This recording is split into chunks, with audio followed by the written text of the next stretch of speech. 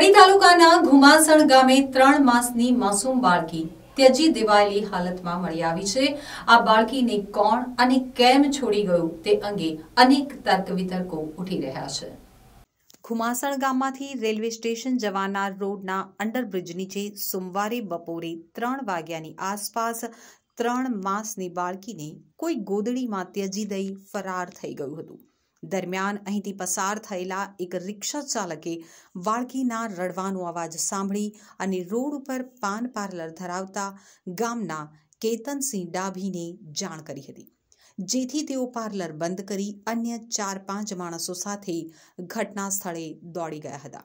કેતનસિંહ ડાભીએ જણાવ્યું હતું કે અમે પહોંચ્યા ત્યારે બાળકી રડતી હતી, તેને ગોદડીમાં વીંટેલી હતી. બાજુમાં દૂધની બોટલ પણ પડી હતી. આજુબાજુ તપાસ કરવા છતાં કોઈ વાલી વારસ નહીં જણાતા મેં એકસો આઠ અને નંદાસણ પોલીસને જાણ કરી હતી, જેને પગલે નારદીપુરની એકસો આઠ એમ્બ્યુલન્સ તાત્કાલિક ઘટના સ્થળે દોડી આવી હતી અને પાયલોટ અરવિંદસિંહ ઠાકોર અને ઈએમટી કોકિલાબેને બાળકીને પ્રાથમિક સારવાર આપી હતી. ત્યારબાદ વધુ સારવાર અર્થે ગાંધીનગર સિવિલ હોસ્પિટલ લઈ જવાઈ હતી. બાળકી મળી આવ્યાની વાત ગામમાં ફેલાઈ જતા લોકો એકઠા થઈ ગયા હતા અને ત્રણ માસની માસૂમ બાળકીને ત્યજી દેનાર માતા સામે ફિટકાર વરસાવ્યો હતો.